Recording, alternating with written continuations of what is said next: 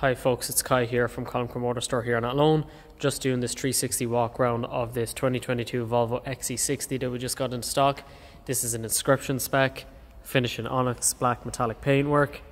There's also the recharge, so this has the longer range on its electric motor, which is 82 kilometers and full electric. You have your upgraded alloy wheels, which are 18 inch. These are the five spoke. LED performance headlights on the front, chrome fixtures around the grille. This car has a contrasting cream interior as well, which I'll show you a little bit later in the video. You have an optional extra sunroof on this vehicle. Really well minded. Car still under manufacturer's warranty as well for that ultimate peace of mind with Volvo.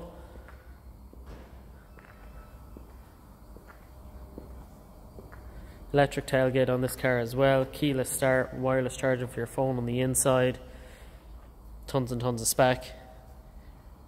Immaculately kept as well, just covered 40,000 kilometers. So as you'd expect, paintwork and interior is in immaculate condition.